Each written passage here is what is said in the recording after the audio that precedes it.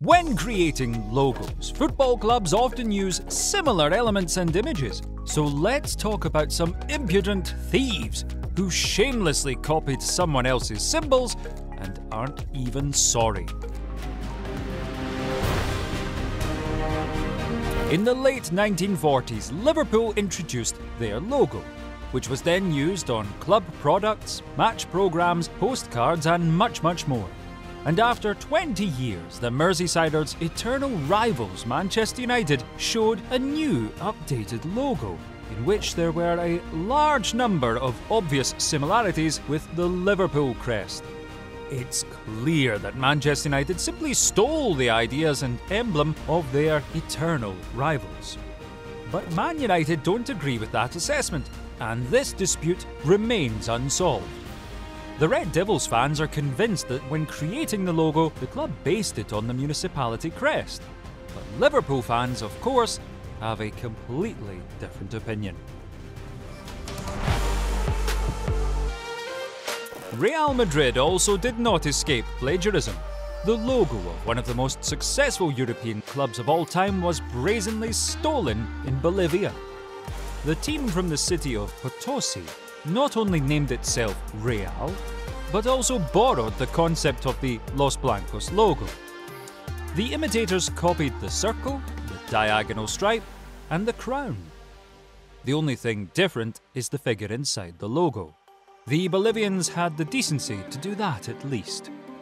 Apparently, the thieves from Potosi thought that together with the logo, the glory of Madrid would also pass on to them, but that hasn't seemed to work the fake Real from South America won its last trophy in 2009. Barcelona have also been victim to unimaginative football clubs. At one time, the Catalans logo spread across several countries at once. For example, the concept of the logo was borrowed by Italian Sassuolo, Marseille Consolat, Romanian Otelul, and Forest Green Rovers. Some of those teams later officially apologised to Barca for plagiarism and carried out a correct rebranding. And yet there were some frankly arrogant copycats with whom Barca decided to sue in 2013. Apparently, the Ecuadorian team of the same name from the city of Guayaquil simply knows no shame. They replaced the FCB abbreviation with BSC, very original there removed the golden frame, added stars, repainted the ball white, but it's still an obvious copy of the Blaugrana logo. Obviously, being Barca and protecting your brand is not the easiest thing to do.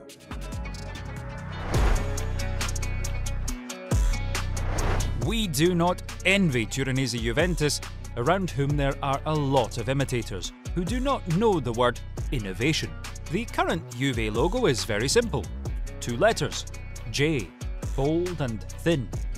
But the old emblem was made more interesting and proved to be especially popular with smaller teams.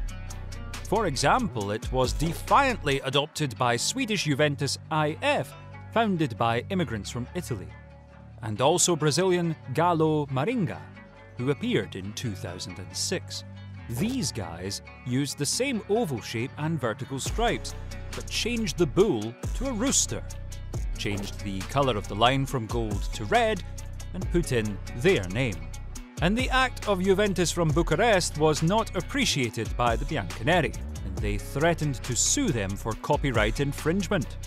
The resemblance is too obvious here. In the end, the Italian side forced the Romanians to change their name and logo, and now the twin team is called Daco Getica. Now, here's an unexpected twist. Take a look at the logos of Bayern Alzenau from the German 5th Division and the national giants Bayern Munich. You probably think that it was Alzenau who stole the logo from the top club, right? Not at all. In this story, it was the small club that was the first to come up with its logo back in the 1920s. But the Bayern crest in its current round shape was introduced in the 1960s. Oh, those treacherous Munichers! Not only do they take away the best players from competitors, they also took away someone else's logo. Chelsea and their emblem is no exception. The Londoners' logo was taken by the Dynamos team from Zimbabwe. They slightly changed the lion, added stars instead of balls, but in general the image is almost the same. And since the African club is half a century younger than its English counterpart, it's easy to understand who stole the emblem from whom. However, Dynamos did bring their own thing to it, adding the inscription Glamour Boys. Glamorous, but definitely not the most creative. And here's what French club Chambly, who recreated the logo of Inter Milan, came up with. Now, in this case, the borrowing is not accidental. Chambly were founded in 1989 by two brothers, Italians by origin and big fans of Inter. Well, they made a free advertisement for their favourite Nerazzurri and at the same time came up with the club with a seemingly unique emblem. Although later Chambly did renew their crest. But New York City, which are part of the City Football Group and managed by the Sheikhs who own Manchester City, were also inspired by Inter's emblem and did not think for too long. The same round template, three letters inside, but slightly different colours. But not only City Football Group managers can copy logos, but they are imitators as well. This February, the insolents from the Chilean league, Santiago City, who play in the country's third division, decided to come across like Manchester City, only to receive a serious response. The citizens' lawyers contacted the Latin parodists and expressed dissatisfaction in a letter due to the unauthorised use of their trademark and design. However, it doesn't seem that the claims of the English giant affected Santiago City. The Chileans still do not hesitate to use the previously approved emblem, posing as one of the members of the CFG concern. Let's finish with a club with slightly less hype surrounding them, but believe me, the story here is also interesting. Glasgow Rangers and the Brazilian Flamengo each use two versions of their logos.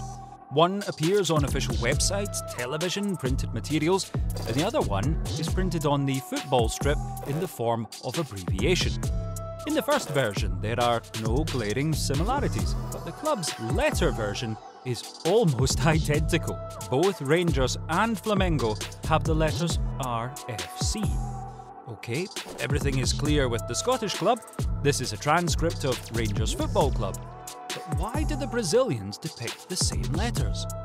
The thing is that the full name of the club sounds like Clube de Regatas do Flamengo. That is, the Flamengo Regatta Club. So who stole it from whom?